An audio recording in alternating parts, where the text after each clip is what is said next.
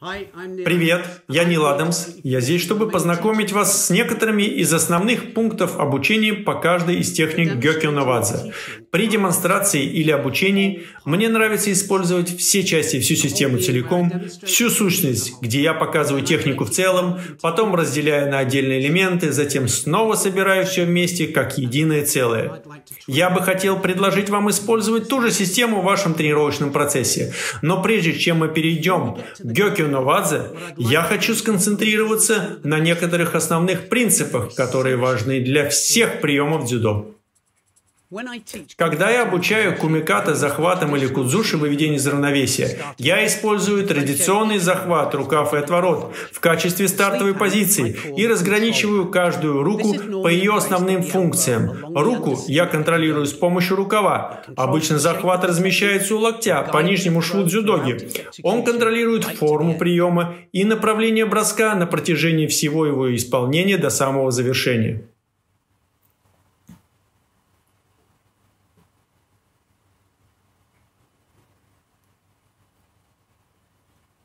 Другой рукой я захватываю отворот дзюдоги. Эту руку я называю направляющей, так как она определяет направление броска и показывает, где упадет соперник.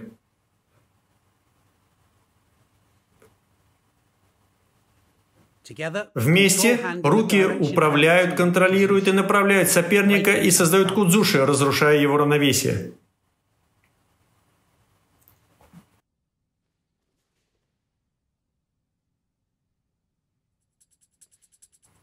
Я также считаю полезным в учебном процессе обратить внимание на концепцию линии баланса. Следует помнить о двух таких линиях баланса.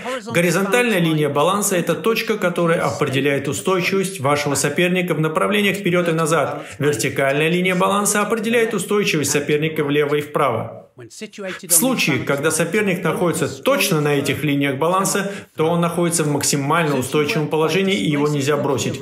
Кузуши заставляет соперника смещаться вокруг этих линий баланса, таким образом нарушив его равновесие вперед или назад за горизонтальную линию баланса или влево или вправо над вертикальной линией баланса соперника. Теперь соперник становится слаб и может быть брошен.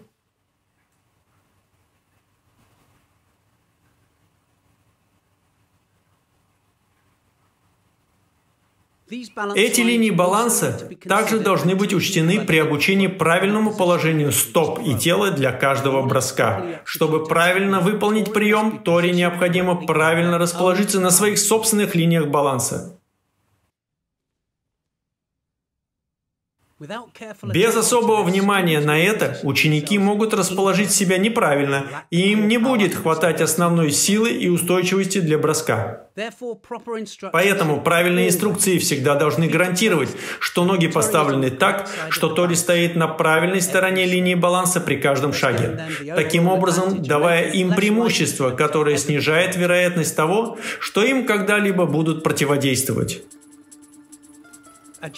Важной точкой внимания при обучении кузуши всегда должна быть голова, потому что без нее кузуши может часто быть неэффективным. В этом примере из-за отсутствия правильного движения головой приводит к неспособности заставить уки переместиться достаточно далеко от его горизонтальной линии баланса. Но, когда голова поворачивается как надо, кузуши становятся намного эффективнее и смещая уки из его линии баланса. Поэтому действие головы является важной частью обучения любому броску.